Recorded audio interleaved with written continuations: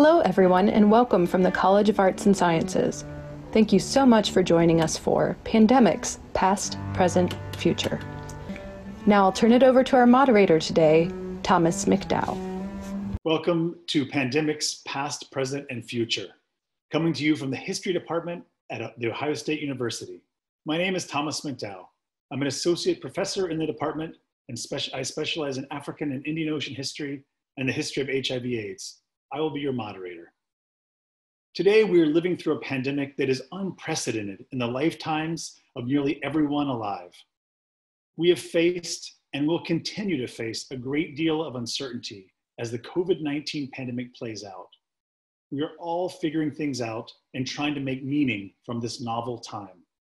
Yet, this is not the first time our species has confronted a pandemic threat for which we have no immunities. History can give us insights about how to live through and rebuild from a pandemic. And at Ohio State, we are lucky to have a leading national program in the history of health, environment, technology, and science. Historians at OSU and elsewhere have long studied pandemics, taught their lessons, and preached preparation. We believe that now, more than ever, insight about past pandemics and how they affect societies is essential for everyone. We are so happy that you've joined us today. And we're delighted to welcome four experts on the history of pandemics from Ohio State University. Kristina Sessa will speak about the Justinianic plague. John Brooke will cover the Black Death. Jim Harris will address the 1918 influenza pandemic, and Erin Moore will discuss HIV AIDS. Thus, we'll be hearing about three diseases over four time periods. And for those keeping score at home, the plagues, the plagues are both bacterial, while influenza and HIV are, like COVID 19, viruses. How we'll proceed. Each speaker will give us a brief overview of a historical pandemic with slides to augment their talk. After all four presenters have spoken, We'll open a discussion to ask the panel to respond to your questions. Many of you submitted questions when you registered, and we also will be collecting questions through the Q&A feature during the event. We've received hundreds of questions, and we'll do our best to answer as many as we can. Okay, let's go ahead and get started with Kristina Sessa on the Justinianic plague. Tina Sessa is a historian of late antiquity. That is the period between the end of the Roman Empire and the start of the Middle Ages. Her most recent book examines daily life in this period, and she's currently working on a project that explores perceptions and responses to disasters, including the Justinianic plague. Thank you, and good afternoon, everybody. So, the Justinianic plague is the name we give to the first recorded outbreak or pandemic of bubonic plague in the late Roman or Byzantine Empire. And we first hear about it in our sources starting in 541 AD, and the plague recurred intermittently through the middle of the 8th century. So we call the Justinianic plague the Justinianic plague because the initial outbreak corresponds with the reign of the Emperor Justinian, and he's the dude in the middle there. Interestingly, Justinian was himself a casualty of the plague. He contracted the disease, although he didn't die from it. And there are two interesting kind of points we can take from that. First, it tells us a little bit about risk factors, and it tells us that age, social status, wealth, access to power or you know excellent medical care were really not the big risk factors the biggest risk factor in terms of getting bubonic plague was where you lived and for those people who lived in dense urban environments like the imperial capital of constantinople where justinian lived you are much more likely to contract and die of bubonic plague than if you lived in a less densely populated rural community.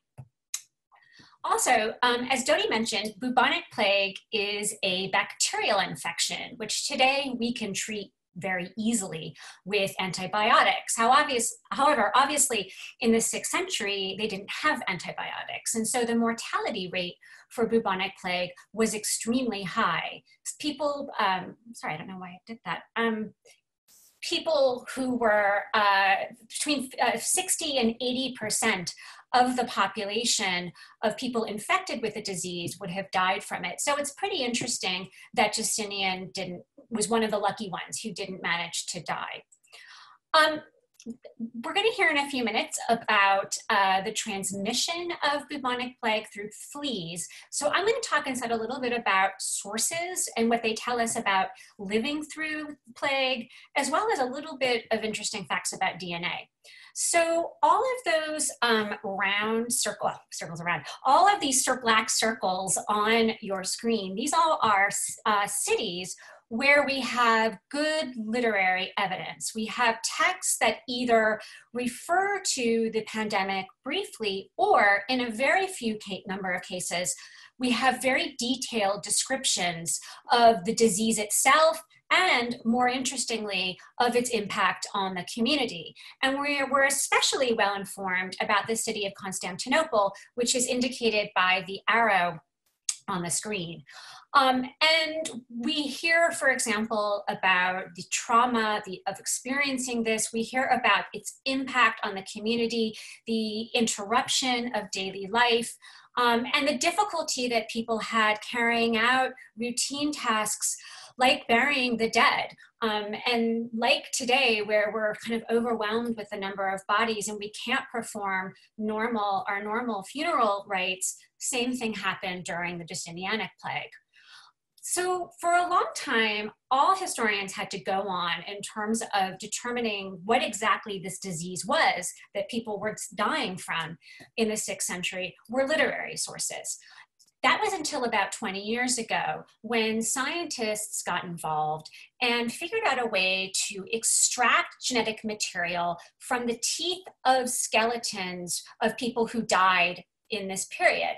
And what they found in that genetic material um, was the DNA of the pathogen that causes bubonic plague. And this is how we know for certain that this was the disease that is the, that we call the Justinianic plague. And all of those squares, those are all cemeteries where we found that DNA evidence. So did the plague end the Roman Empire? So this is the question. And for a long time, up until really recently, historians thought, yeah, it kind of did. It was it was this catastrophic rupturing event that brought about the end of antiquity and the start of the Dark Ages. We we thought it it wiped out anywhere between 30 to 60 percent of the population. We thought it absolutely collapsed the economy, decimated the army, was really a factor in the end of a civilization. However, we've come very recently to rethink this. And we've we've we've, we've basically started looking at different types of indicators more long-term indicators that have given us a very different story. And so for example on your screen you are looking at a graph uh, that shows us agricultural production. Um, and as you can see, agricul- agricultural production did not fall off during the Justinianic plague, more or less continued apace.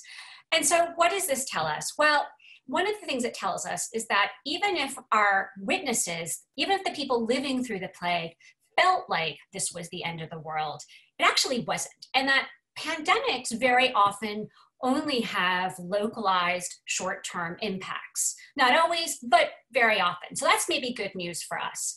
The other takeaway is that stories matter. How, how people in the past talked about plague really impacted how historians for a long time understood it. So, as we move through our plague, I think we should think about how we're going to talk about our own experiences and uh, and and that's and, and move forward like that. So, in any event, thank you. Okay, thank you, Tina. We'll now turn to John Brooke to hear about the Black Death. John Brooke is an arts and sciences distinguished professor of history and the author of five books. One of them, Climate Change and the Course of Global History, A Rough Journey, demonstrates his mastery of global environmental history and situates Black Death, his topic today, as a gateway to modernity.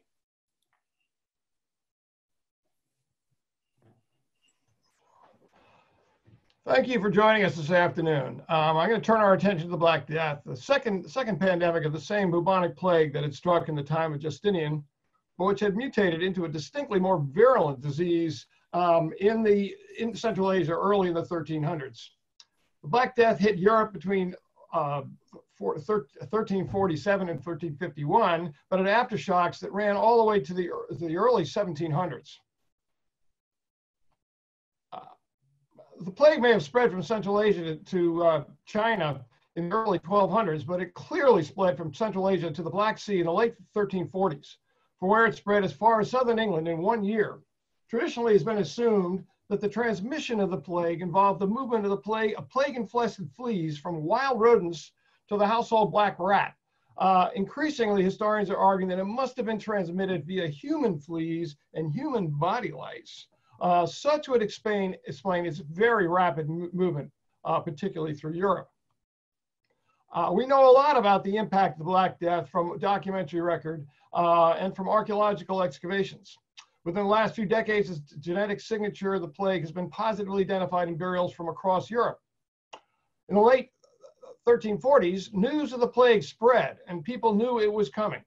Plague pits such as you see here in the East Smithfield, London, uh, were dug before the arrival of the epidemic. The bacillus was deadly and took both rich and poor, rural and urban.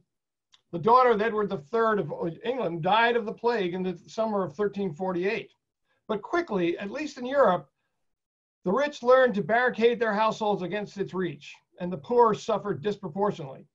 Strikingly, if a mother survived the plague, her children tended to survive. If she died, they died with her.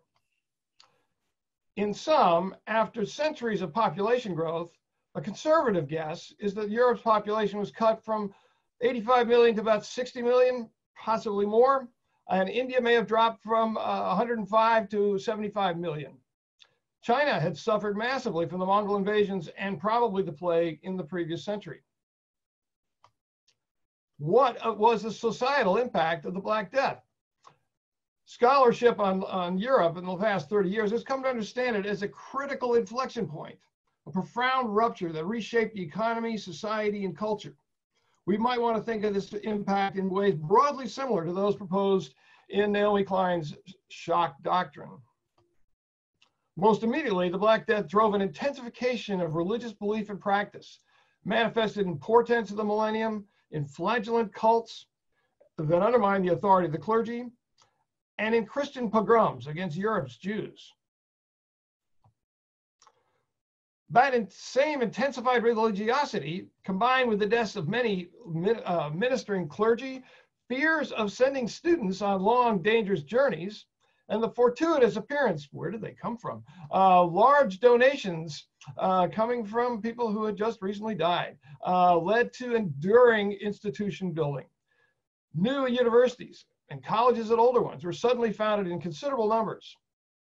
The proliferation of new centers of learning and debate is seen as subtly undermining the unity of, the, of medieval Christianity and setting the stage for stronger national identities and the precursors of the Reformation. The plague's disruptive uh, experience also shaped new directions in medical knowledge. Historian Samuel Cohn has argued that the doctors tended uh, tending the sick during the plagues began to rebel against the ancients. They had learned from their experience that disease was not caused by the alignment of the stars, but from a contagion, and they were committed to a new empiricism. Cohn argues that here lay the distant roots of the scientific revolution. Quarantines were directly connected to this new empiricism and the almost instinctive social distancing of Europe's middling and elite households it has become clear that small pools of plague did get established in Europe for centuries, apparently in wild rodent communities in the high pass of the Alps. But it was also clear that at the, uh, at the time that the, the plague came from into the Mediterranean ports by ship. The first quarantine was established in 1377 in the Adriatic port of Ragusa, and by the 1460s, quarantines were routine uh, in the European Mediterranean. Major outbreaks of the plague in in, the, in 1665 and 1621 in Mar uh, London and Marseille were the result of the breakdown of these quarantine barriers. from the late 17th century to all the way to 1871, the Habsburg Empire maintained a um, uh, uh, an armed cordon sanitaire against the plague eruptions coming from the Ottoman Empire.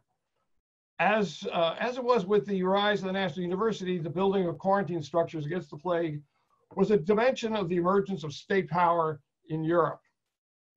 Now, through all of this, the common people who survived the Black Death emerged uh, to new opportunities in empty lands. We have fairly good wage data for England, and wage rates rose dramatically um, and rapidly as, as masters look for increasingly scarce labor. The famous French uh, historian Marc Bloch argued that the Black Death brought an end to the Middle Ages in a crisis of the revenues flowing from the rich to the poor. And I'm going to stop there. Thank you, thank you, John. We'll, now turn we'll now turn to Jim Harris, who will talk to us about the 19 pandemic. Jim Harris received his PhD and has become one of the most popular lecturers in the department, teaching more than a thousand students in the last three years. They're drawn to his course and his global history of vaccines. He writes on influenza and the history of public health in Britain. Hello, everyone, and thanks, Dodie, for that introduction. Uh, I'm going to talk briefly in the next five minutes about the history of the 1918 influenza epidemic for you. the 1918 influenza epidemic caused far more cases than the past pandemics you've heard about in this webinar by, by orders of magnitude, though the Black Death may have uh, afflicted a percentage of the world greater than the uh, 1918 influenza. In 1918, this afflicted 500 million cases, and conservative estimates say there were at least 50 million deaths from the pandemic. This was 25 times larger than the average flu pandemic. And this flu pandemic had several important um, unique characteristics to it. One of which was the nature of the deaths. In a typical flu pandemic, and there have been many from the at least uh, five in the last 150 years, uh, typically the very young and the very old are subject, are the ones who die most frequently. But in 1918, amid the ongoing First World War, those in the prime of life were also particularly uh, uh, uh, particularly died in this pandemic. And that wartime context is really important. And we're hearing a lot about the three waves of the 1918 influenza pandemic uh, today. And this graph shows those three waves and when they occurred in turn. And what we see here is that the second wave was by far the most uh, deadly phase of this pandemic. And I'm going to spend the next few minutes trying to walk us through these three waves very briefly. The 1918 flu pandemic likely first broke out in uh, Kansas in a military a military uh, base in Kansas, Fort Riley, uh, where a camp cook reported sick in March of 1918. From there, the pandemic would follow uh, troop movements around the globe, uh, starting in the United States and moving outward from there. Uh, this map shows you the rate, uh, the spread of the pandemic over time, beginning in March and then over the summer months as it moved following US troops to Europe. Then in August of 1918, the pandemic, the virus mutated, causing that second wave of the pandemic you saw in the previous graph. It struck almost simultaneously in late August of 1918 in three port cities, Boston, Massachusetts, Brest in France, and Freetown in Sierra Leone. These were all important military ports, Boston being a site where troops uh, were deployed from the American Expeditionary Force to Europe, Brest in France, where American troops often landed, and Freetown was an important coaling station serving transatlantic troop movements. And this wartime context is really important for understanding the 1918 flu, because during a war, when you need to keep the war economy moving, uh, you can't enact quarantines and social distancing like we're employing in COVID 19 today. In the UK, where my research is primarily focused, uh, the head of public health, Sir Arthur Newsholme, told Britons to simply keep calm and carry on. In the United States, they were more proactive, however, in enacting uh, uh, some, some, some public health measures.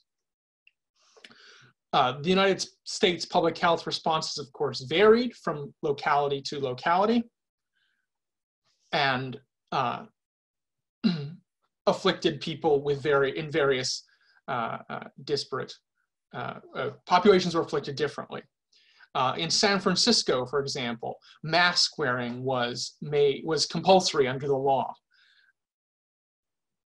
And the results of that we can and social distancing was was enacted uh, uh, in, in, various lengths and in very dura various durations in various cities. And we see from the 1918 flu pandemic the consequences that had in terms of mortality and in places like our own columbus ohio uh, mortality rates were kept very low uh, because quarantine measures and, and uh, uh, limiting gatherings uh, were kept contained, whereas in places like Philadelphia, where you see one of the worst cases of the pandemic here, uh, large parades to celebrate the war and to raise morale for the wartime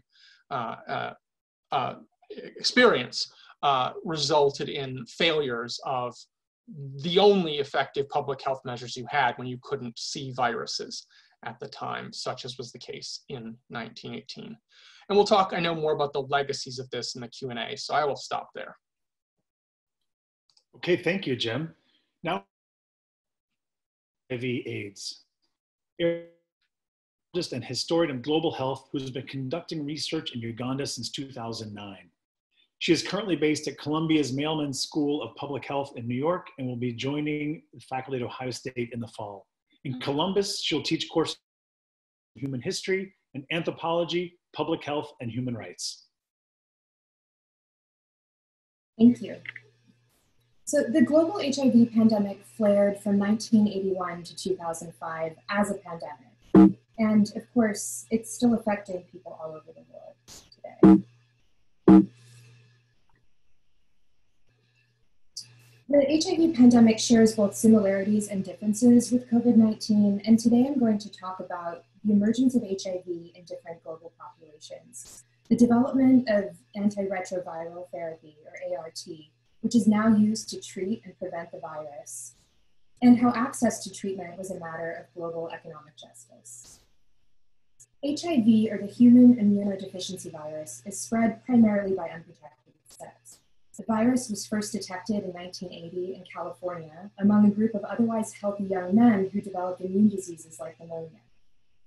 By June of 1981, the US Centers for Disease Control had reported on the virus in five young men at three different Los Angeles hospitals.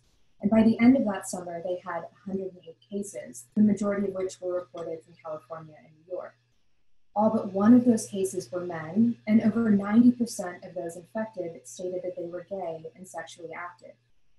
In the United States, HIV quickly became understood as a quote lifestyle disease associated primarily with men who have sex with men, an association drawn by national statistics, by activists from the AIDS Coalition to Unleash Power, or ACT UP, a long running LGBTQ organization that advocates for the rights of those with HIV, and by cultural productions such as Tony Kushner's Angels in America, which won the Pulitzer Prize for Drama.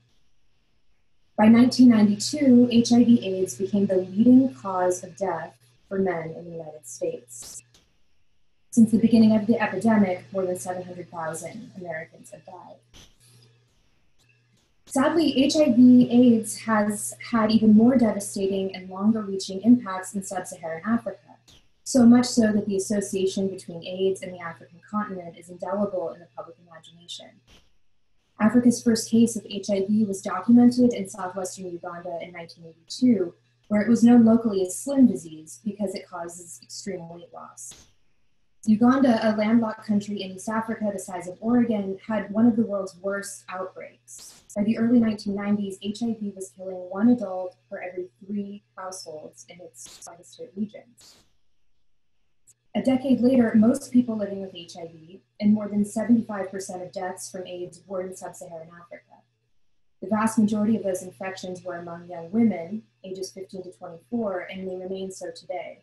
According to UNAIDS in sub Saharan Africa, three in five new infections among young people are in girls, whose gendered, social, and economic vulnerability puts their health at risk. Even with new infections every year, deaths from HIV have greatly rescinded.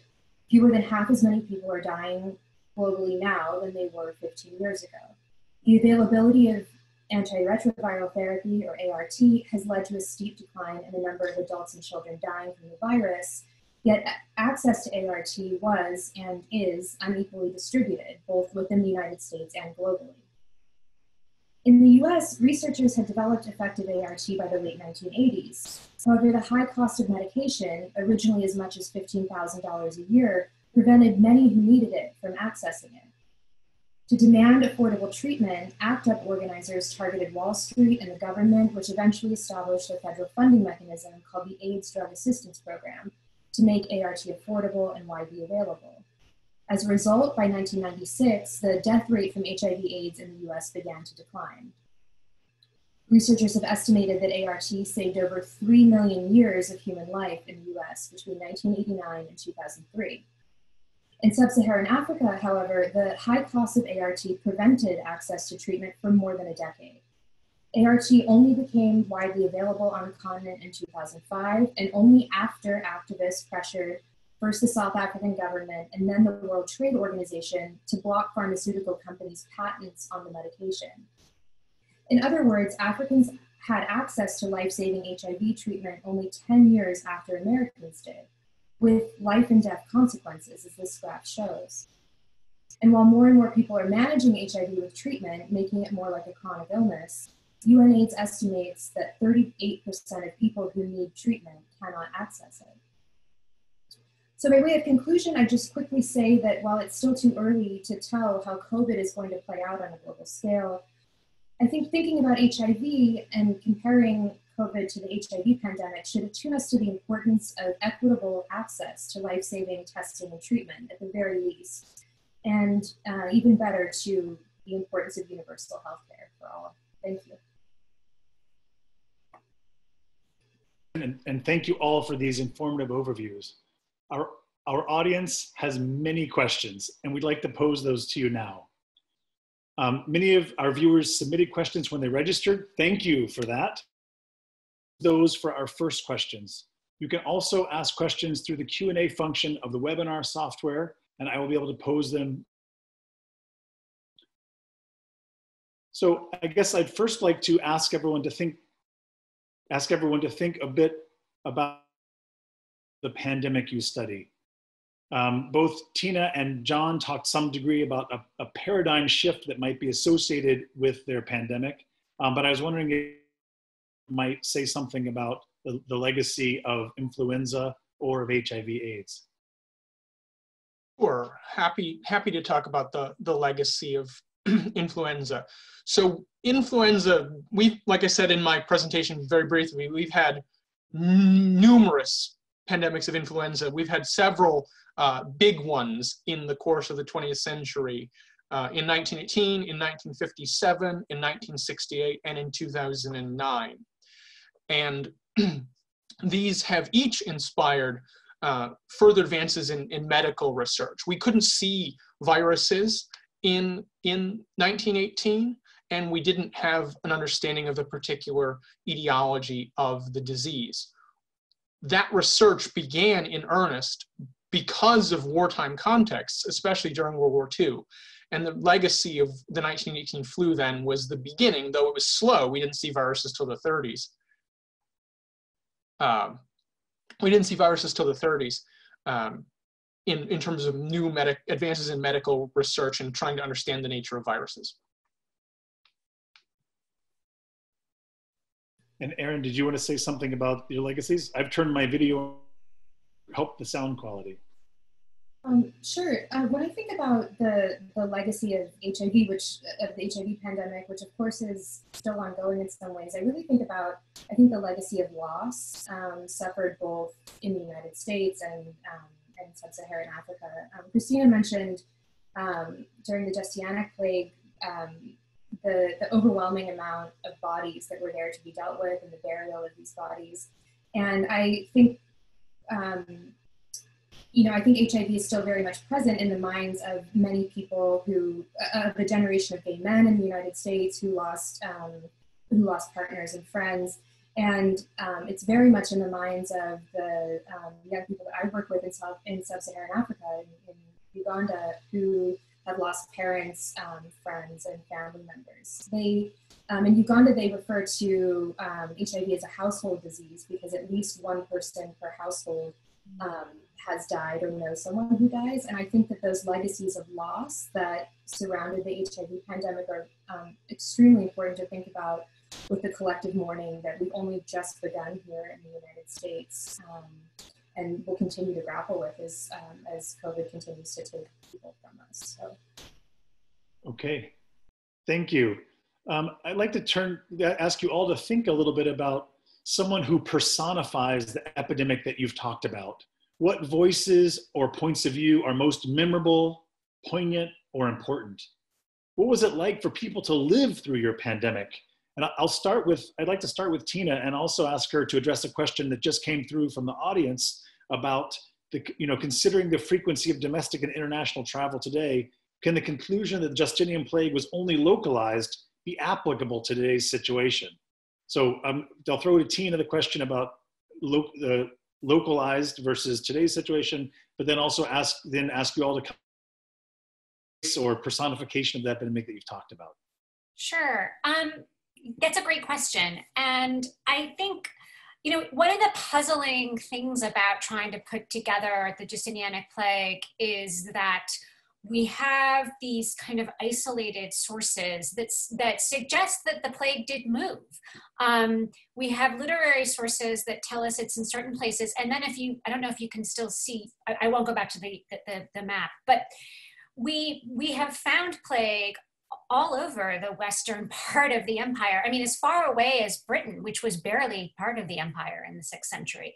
Um, so I do think that we have to still think about in, in a, a, similarity to today, in that people did move around the Roman Empire. I mean, obviously they did, and they brought plague with them. However, obviously this was not on, on you know, it's on a much, much, much smaller scale than what we're seeing today.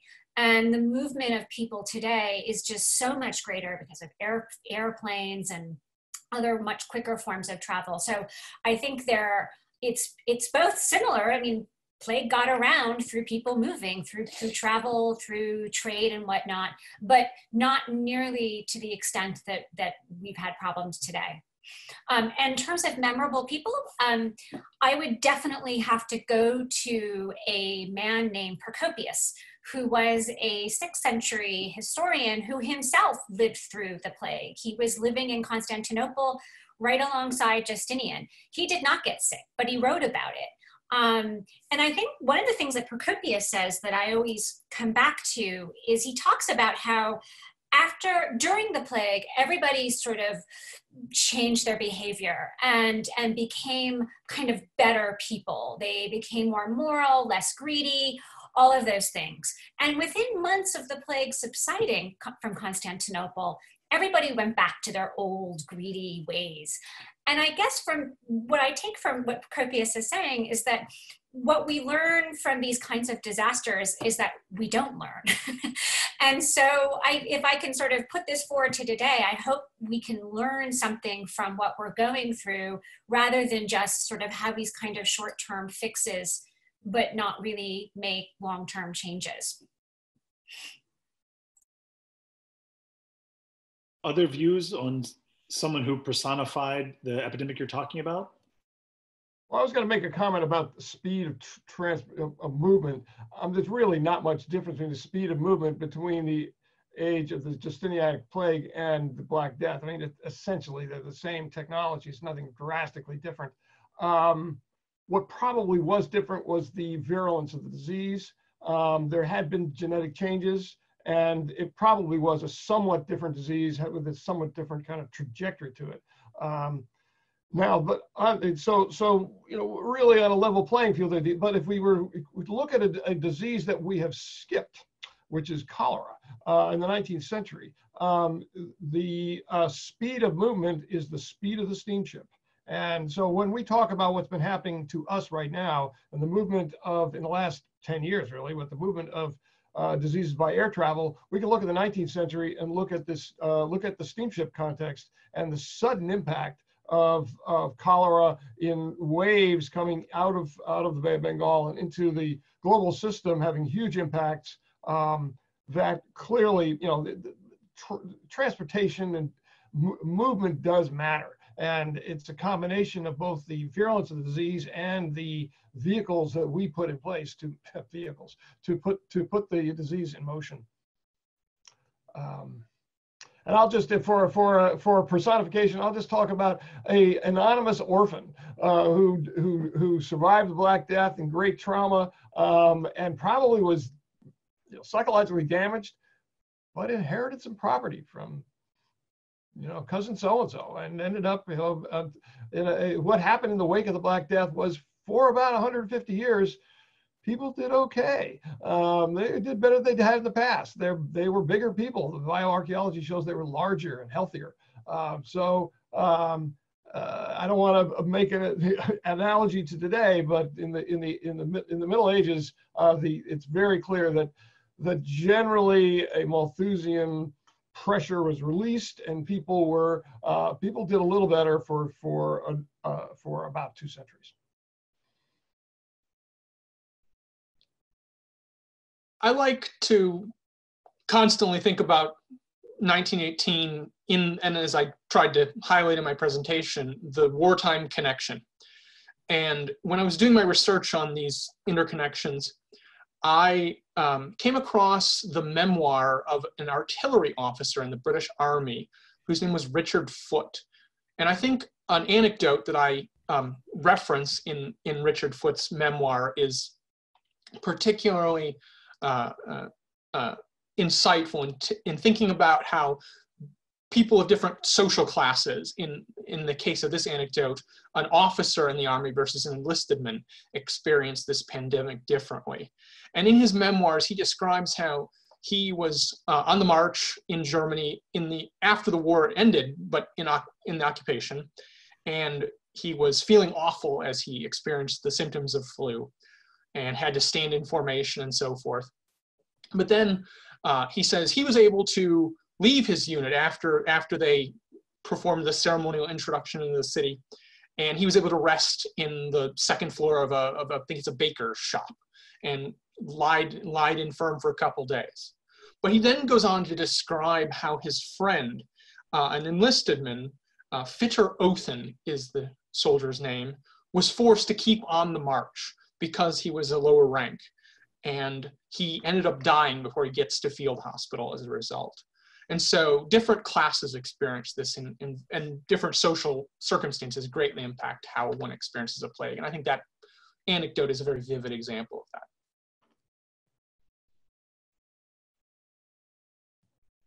Um, in the um, in the in my case, for in the HIV case, there are a number of um, activists who I think have really um, embodied and, and um, taken on the the, um, the cause of, of AIDS activism. But I kind of wanted to think about the um, about personification in terms of um, high risk kind of categories for uh, for the medical for for for medical interventions. And I think that there because I think that there's something um, uh, important like there's an important distinction here between HIV and the rest of the pandemics that have been described, which is that um, HIV is, of course, mostly transmitted through by, through sex, um, otherwise intravenous drug use. So there is a way in which individuals' social behaviors could be um, altered or intervened upon, which has led to um, which has led to a number of interventions that try to intervene in the behaviors of, for example, sex workers, um, men who have sex with men more generally.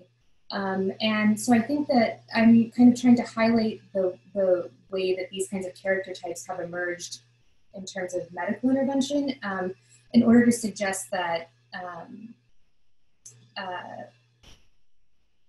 that these behavioral interventions um, often attach uh, certain, often attach behaviors to certain kinds of people as opposed to looking at their the broader economic contexts that are kind of uh, creating the conditions in which people are, for example, having sex for money. Um, so, yeah, that's my answer to the personification question. Okay, fantastic. We're getting a lot of questions from the audience about ended the pandemic that you're talking about and Erin's already said that of course the hiv aids pandemic is or epidemic is continuing in some ways um, but for the, especially for those we didn't have that didn't have medicines to do so and i'd like to ask you to, to think about that and also to say the end of your the pandemic that you've talked about and also to what life looked immediately after your pandemic and how we might think about our own process of emerging from the crisis um, so um, start to think about what what stopped or ended the the influenza um, epidemic, and what did life look immediately after? What did life look like immediately afterwards? In the case of 1918, it, it actually continues on until winter of 1919. The pandemic petered out naturally by and large. It, it, it, infect, it came, it infected, it devastated, and then it went away. That's what happens with flu. It's it's the typical flu cycle on a on a on a much much bigger scale.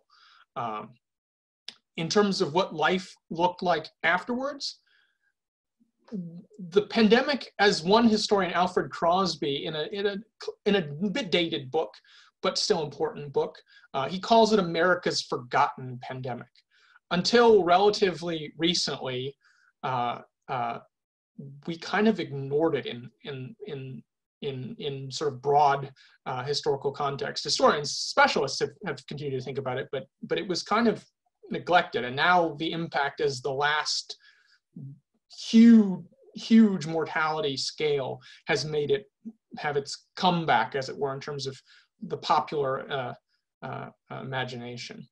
Uh, in, it's really hard to disaggregate disaggregate the legacy of the immediate legacy of the flu from from the war, uh, the rebuilding in the early 1920s, economic uh, down, the economic recovery and whatnot, just were a um, uh, they exacerbated one another.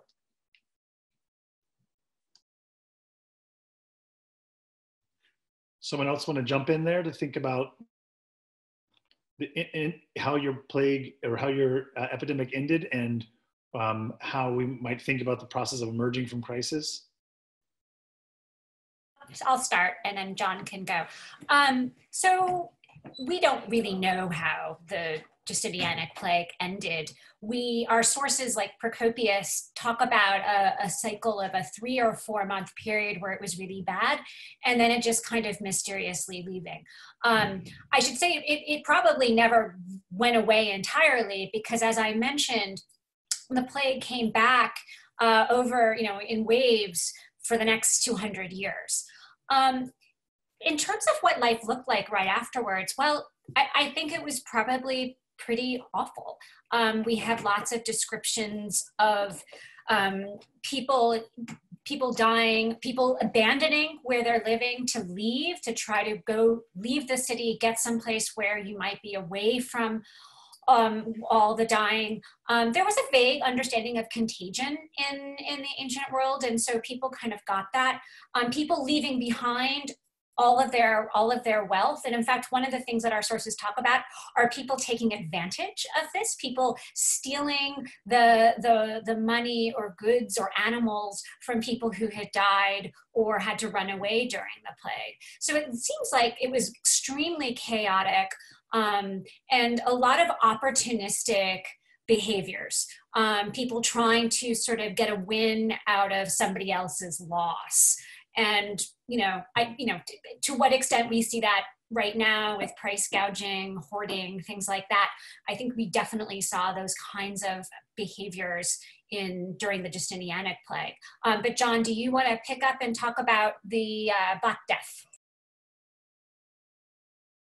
Okay. Um, yeah, a couple of things. I want to I want to talk about the Black Death. I also want to talk about a question that came from the floor, which relates to all of this in a big picture. Um, what is striking about the Black Death is that I would argue the long term, there are these huge echo effects, which I haven't even talked about, um, that reach us all the way to, you know, huge epidemics in North America and the Americas, you know, as a distant aftershocks. But immediately, I think it's what's interesting listening to um, Tina's description of what happened in the in the ancient world. It's actually the state worked better.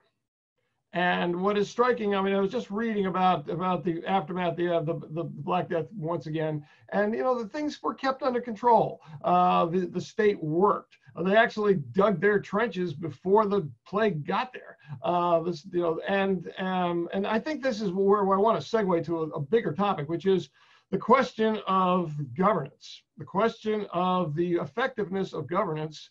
Um, and uh, what is striking is, in fact, how marginally effective it really was during the Middle Ages and uh, in the in the year in the decades years following, uh, among other things, um, of you know the foundation of of the of the quarantines as you know dimension of state power and the enforcement of the quarantines. Um, so. Um, uh, look, we have a question. One of my students, uh, Dave Bergunzi, who asked a question about about poverty. Uh, what have why why are we still um, be, uh, why does the, the COVID-19 uh, epidemic striking the poor so hard now?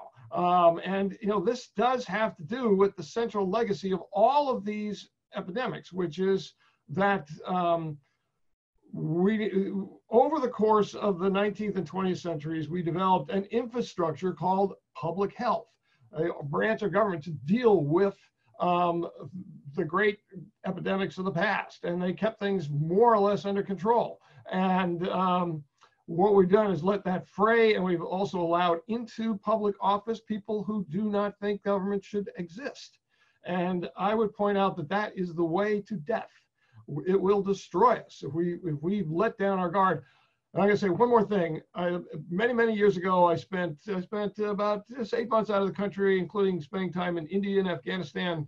Um, and I came back to this country and said, "Oh, we live in a bubble. We live in a world protected by the great legislation and the great efforts of the progressive period, and we are letting it go. We are piercing our own bubble. We have pierced the bubble, uh, and we are now part of the world. Uh, nobody likes that." Well, one of the reasons that happened was that we let down our guard and we government has failed us, the national government has failed us in an enormous way. Um, and so I will let you all draw what lessons you will. So actually, Erin, can I can I direct that to you because one of the echoes we see here is of people being feeling let down by government. The HIV AIDS in the early 1980s disaffected in U.S. government response how might you put that in contrast to what John just said?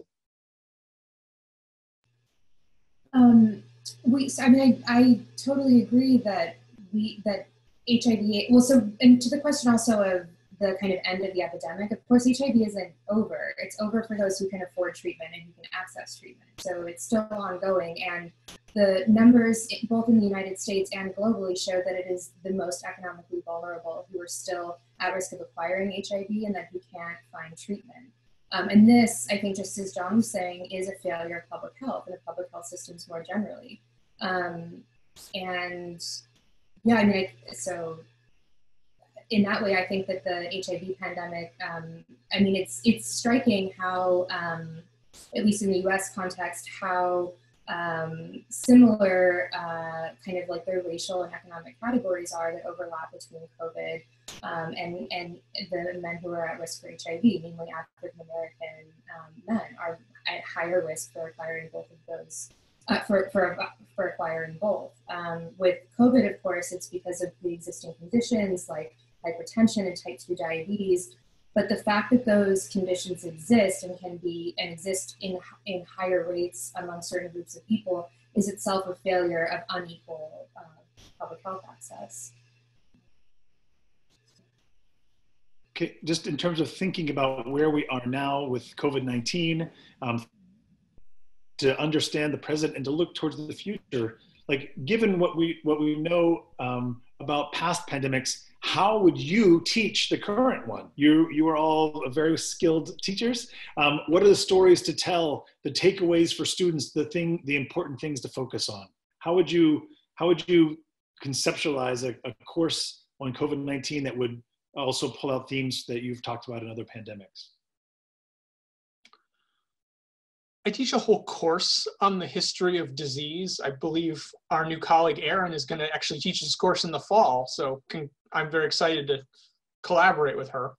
Um, but I teach a course on the history of, of disease, and I ask the students pretty much every lecture and to frame the whole course around the question of how has disease had a social impact?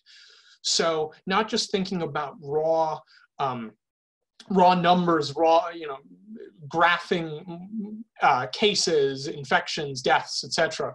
But thinking about these actual human impacts. How have they changed uh, social structures? How have they changed class uh, organization? How have they th- influenced how humans treat each other? There, in, in, in that course, I talk about the, the diseases my colleagues have talked about as well. And, and in both the case of the Black Death in particular and in HIV, there was a great deal of stigma in the immediate aftermath of, of, of, those, of those diseases uh, as, as various populations were victimized and demonized by the masses in the initial wave of these pandemics. And I think we need to be careful about being empathic and using history to teach empathy and to not stigmatize uh, uh, uh, carriers or patients of, of this disease. And so I would ask students to continue to think about how is this affecting daily life in an ongoing way.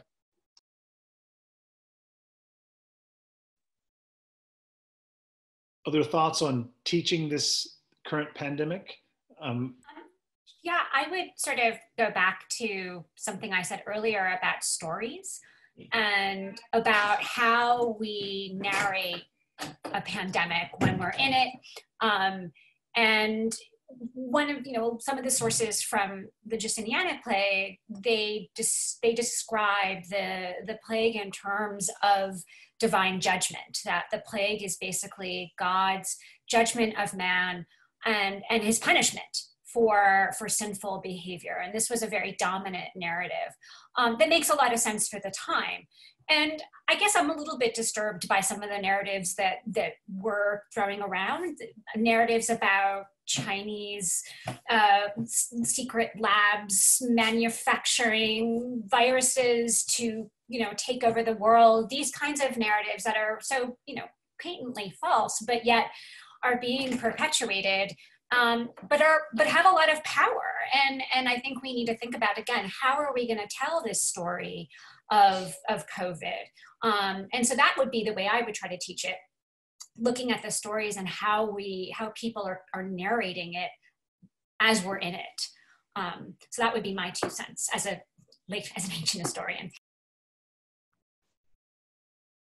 Um, really quickly, I, I would just repeat a point made before. The sto those stories will be political. Um, we, we could, I'm, I, I'm ready to bet that people are putting together courses uh, maybe not in history departments, but in other departments on the politics of COVID. Um, that this has a political dimension, this has a governance dimension. Um, all these epidemics do. We manage nature as it comes at us. And um, um the question is, you know, not just um, what's its its social and cultural framing, but how do we how do we re mobilize resources to to handle the challenge? Um, and my, so I would teach, um, in addition to whatever what my colleagues have all said, which are which are great approaches, I'd also want to be sure to focus on um, kind of the difference between epidemics or pandemics as events and then the longer structure of public health, right? So to, in order to understand like why certain people are getting sicker than other people, um, and to understand that as as a longer that has a much deeper history um, in the United, in the context of the United States and globally.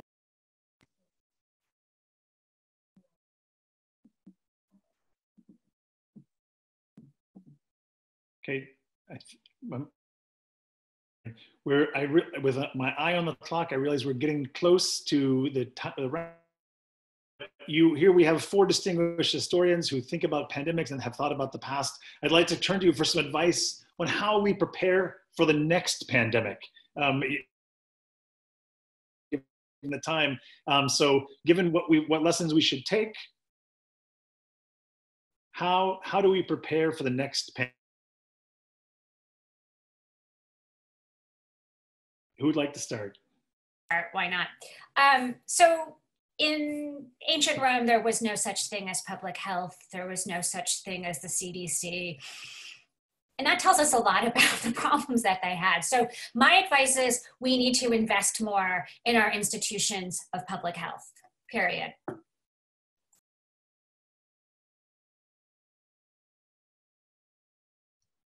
Other thoughts? yeah, just simply, you know, global coordination really, really matters. Uh, again, uh, diseases, nature does not respect political boundaries, and we operate, we think we're operating in some kind of world of chopped up boundaries, and it doesn't, you know, we have to think globally. We have to act globally. I'm going to sound like a broken wheel here, or broken record, excuse me, mixing my metaphors, as I echo what Tina and John basically just said, which is what we've learned through the through the history of past pandemics is we've gotten faster at responding. We we share information more. We're in a we are in a global world. Uh, we live in a global world. Uh, labs can sequence uh, uh, uh diseases much faster than well they, we couldn't even see viruses 100 years ago right now we can sequence viruses in gene sequences in in, in months and so, but that takes coordination, that takes global cooperation, that takes tremendous uh, financial and human resources to do. And so, uh, preparing requires continuing to invest and build up these these global systems like the World Health Organization.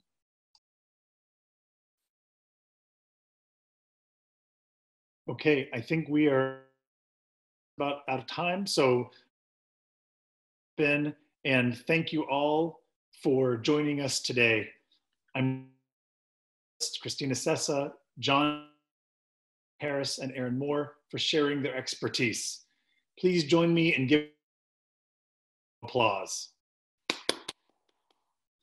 We would also like to thank all the people in the College of Arts and Sciences who made this possible, especially Clara Davidson, the History Department, the Harvey Goldberg Center for Teaching Excellence, and the magazine Origins, Current Events and Historical Perspective for their sponsorship.